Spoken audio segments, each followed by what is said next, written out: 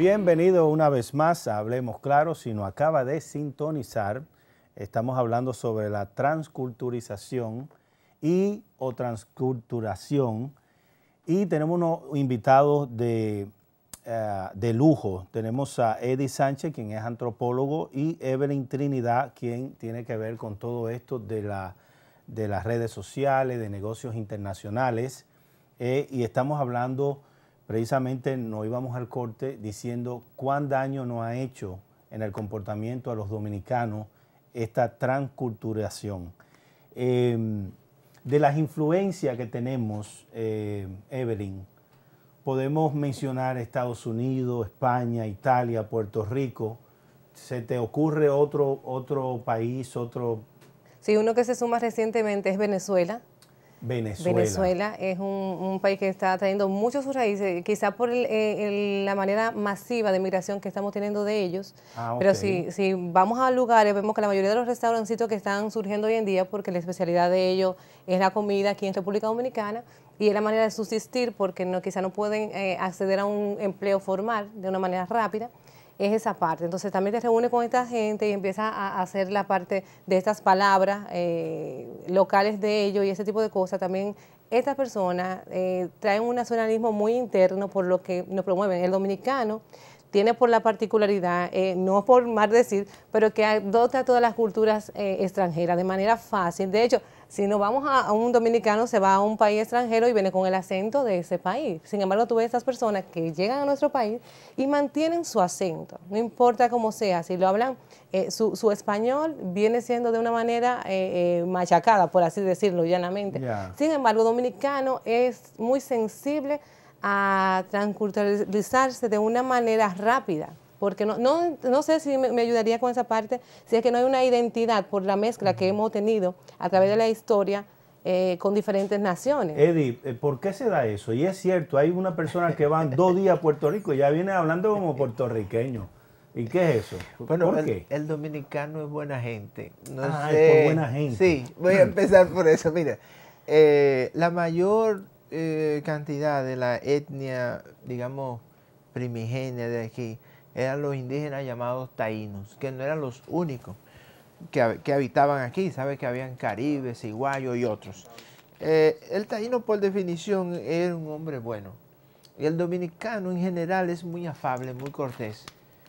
si algo vende, yo creo que uno de los productos turísticos más grandes que tiene el dominicano es la afabilidad en general. Ya. Eh, y, eso implica eh, quitarnos la comida de la boca literalmente para compartirla con otra persona y así mismo abrir nuestro corazón y nuestra casa.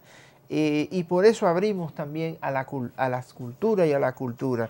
Eh, aquí, antes de la oleada de, Venezuela, quizá por la situación de crisis que arropa ese país, hemos tenido oleadas también que quizás no se han notado mucho, pero de colombianos, muchos cubanos también, porque la situación de nosotros, hay que decirlo, económicamente, sobre todo en la macroeconomía, es envidiable ahora mismo en Latinoamérica. Tenemos un nivel eh, importante y en la tecnología también tenemos un dominio importante en toda Latinoamérica.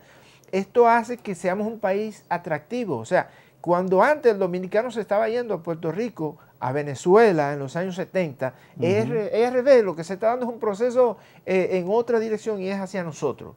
Y esto va a provocar, aquí hay ahijados cubanos ya de la religión cubana popular. Un ahijado es una persona que se bautiza para ser devoto, por ejemplo, de Yemayá o de Obatalá de, y, y, son ceremonias que se están dando. Tambor, yo he ido a Tambor a Oshun, dedicado a Oshun, una deidad, un orisha, por ejemplo, que es la diosa de, la, de todas las aguas, pero sobre todo las aguas saladas. Entonces, eh, son rituales populares que el pueblo va asumiendo, pero asimismo va asumiendo comer sushis. Aquí hay muchísimo negocio de sushi.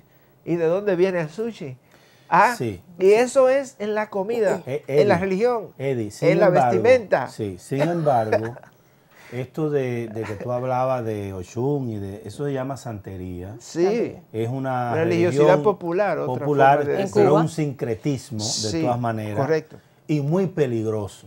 Es decir, tenemos que tener mucho cuidado, no es un chiste, honestamente se lo digo, muy peligroso. De la influencia, yo diría, eh, Evelyn, más fuerte de Estados Unidos.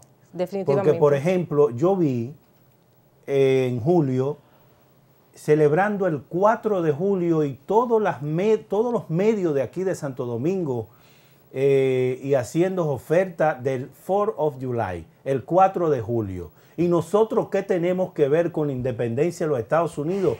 Y además, ¿por qué no hacemos eso con nuestra propia independencia? Es decir, eh, esto, esto es serio. Pero muy serio, yo diría que demasiado serio, porque sin embargo nuestra nacionalidad que debemos celebrar una independencia en el mes de febrero, la confundimos con el carnaval y no le damos el mérito que corresponde a los patricios, a ese sacrificio que hubo en aquella época, para que hoy en día fuéramos libertos, para que hoy en día pudiéramos tener la, tranquilidad de ser una patria soberana de toda potencia extranjera. Sin embargo, se confunde con el carnaval y se, echa a un lado la parte eh, de independencia. Eh, los Estados Unidos definitivamente es una parte, para mí no es una influencia buena, porque mira, con el tratado de TLC, por ejemplo, sabía que República Dominicana es el, eh, somos eh, es el mayor socio que tenemos comerciales Haití, en segundo lugar los Estados Unidos, pero tenemos un tratado de TLC con siete países más. Y siete países que están a un nivel, por así decirlo, Costa Rica, Panamá, que están a nuestro, eh, a nuestro alcance de manera más afable. Porque nosotros no podemos ir a competir con los productos estadounidenses, jamás. O sea, esos son productos de alta calidad, no solo por, por, historia, por la condición económica y todo eso. Sin embargo, somos, estamos tan, tan eh, este, influenciados con esta nación que preferimos perder, si es de hecho así decirlo, perder en el intercambio económico con ellos y hacerlo con ellos. Eh, ¿Tú vas a celebrar ahora eh, Thanksgiving? No, para nada. Yo soy dominicana. ¿Y usted?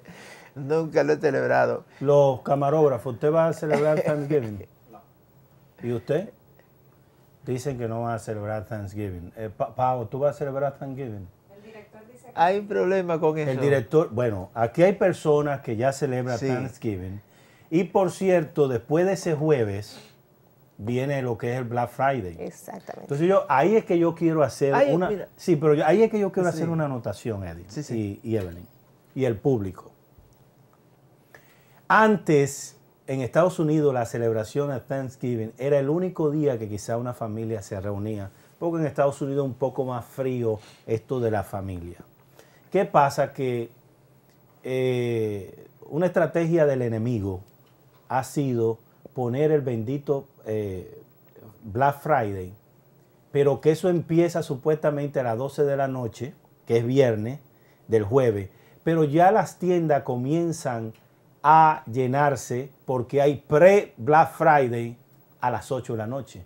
Y ya la, familia cena y se va. Entonces, ¿qué pasa? Que se ha destruido totalmente en Estados Unidos lo que era la tradición de un día de acción de gracia, que aquí hay acción de gracia. Nosotros lo tenemos en otra fecha y en un calendario litúrgico que es mucho mejor que un calendario fuera de la liturgia de la iglesia. Es decir, nosotros tenemos que tener mucho cuidado con esto, porque estamos hablando de eh, desaparecer la familia. Y la familia sigue siendo el eje central de la sociedad, la célula central de la sociedad. Sin familia no hay Estado, no hay sociedad. y por eso es que estamos como estamos. Tú querías decir algo. Sí, que estos, estos fenómenos tampoco no son eh, casuales, más bien son causales, como todo en la vida. Tienen una causa y no lo podemos mirar quizás tan fríamente y tan como que eso vino y ya los dominicanos estamos eso. Tenemos que mirarlo desde el punto de vista de que miles y miles y miles, decenas de miles de dominicanos viven en los Estados Unidos y que estos decenas de miles de dominicanos allá empiezan a asumir la identidad del pueblo eh, norteamericano, que incluye notablemente el Thanksgiving y, el 4 de, julio. Entonces, esas familias dominicanas que viven allá y que tienen relaciones aquí también, empiezan a exportar o a importar esas tradiciones a sus familiares aquí. ¿ah? de tal manera que el comercio también capitaliza esa relación y la fortalece en la medida de que empieza a ofrecer negocios con cultura, o sea, empieza a comercializar la cultura dentro de todo ese proceso de transculturación. Y eso hay que mirarlo con ese lente y con esa lupa, porque no son procesos eh, como aéreos o paracaidísticos. No, no, no. Son procesos naturales yo, de Yo diría que son estrategias, realmente para mí son estrategias del mercado económico. Pero, no, entre otras cosas. O sea, es que todo esto tiene muchos factores. Pero sí estoy de acuerdo con... Y pero por ejemplo, China trae su cultura y maneja su cultura en este país tal y cual la tiene en China. Exactamente. ¿Por qué nosotros no conservamos eso? los, los, árabes vienen aquí y manejan su cultura tal y como la tienen en su país. Es que no tenemos millones de dominicanos en China, ni millones de dominicanos, o sea, millón de dominicanos en, no, no, no hablamos Arabia. De, no hablamos de países, hablamos de identidad personal y eh, nacional. Sí, Eddie, yo, tú vas a hacer una pregunta. Eh, eh, ¿Tú estás de acuerdo con que una hija tuya traiga al novio un fin de semana a tu casa el novio se coma tu salami, tu pan, eh, y esté el fin, el fin de semana ahí como en los países europeos y americanos. ¿Está de acuerdo con eso? ¿O está de acuerdo como tradicionalmente la familia dominicana eh, veía cómo era la relación de un hombre y una mujer que se enamoraban y que en un futuro se casaban, que se pedía la mano? Eh, ¿cómo, ¿Tú estás de acuerdo entonces que la hija tuya eh, traiga al novio y el fin de semana? no, yo estoy de acuerdo con los procesos correctos de relaciones humanas en todos los sentidos. Lo que digo es que estos son procesos que se derivan de una influencia de un, gran número de dominicanos que ya piensa y siente como norteamericanos. Sí, pero es que, no está afectando, Eddie. Sí, entonces el país, ahí viene lo, que ella diciendo, Exacto, pero ahí viene lo que ella dijo. quería, yo quería llegar ahí. Ahí viene lo que ahí viene lo que ella dice. El hecho de que un grupo de familias esté influenciada y sienta y se comporte como norteamericano, no quiere decir que el Estado descuide el fortalecimiento de la identidad nacional ante todo eso mira, Mira, eh, Entonces, no, tenemos que ir a, otro segmento. Sin embargo, tenemos que cortar. Sin embargo, ella dijo algo muy importante que me gustaría que lo retomáramos. Correcto. Ella dijo, y es cierto, que aquí la, la fiesta patria que le costó la, sangre a muchas personas durante todo el proceso. Se, confunde no solamente con el carnaval, sino que aquí se le da más. Más importancia. No, no, más, más, más publicidad. Más publicidad al 4 de julio, que nosotros no tenemos nada que ver, con la, independencia de los Estados Unidos, que yo no tengo ningún problema. pero, ¿y por qué no, por qué no reeducar y por qué no insistir en que en los medios de comunicación y el comercio. Exacto. Bueno, pero es que ellos son los que mueven. Pero nosotros somos los que damos pie a esos sectores. exactamente, exactamente. Y nosotros podemos pedirle a través de aquí al gobierno que haga campaña para eh, identidad nacional. un poco eso. Identidad nacional y evitar un poco eso. Yo estoy de acuerdo. ¿Es usted, ¿Es usted de lo que celebra conscientemente o inconscientemente festividades que pertenecen a otra cultura? Eh, ¿Le hace esto daño a su familia? Bueno, con esto nos vamos y regresamos con este tema que está muy, pero muy interesante.